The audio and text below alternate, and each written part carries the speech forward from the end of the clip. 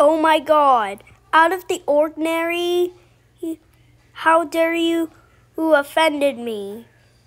He, he, for that it's child abuse. You know that I'm not abusing a child in real life. And this makes you a hypocrite. And that, and you know what? It, that's it. This is your last chance.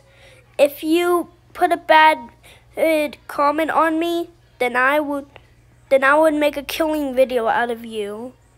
End of call out.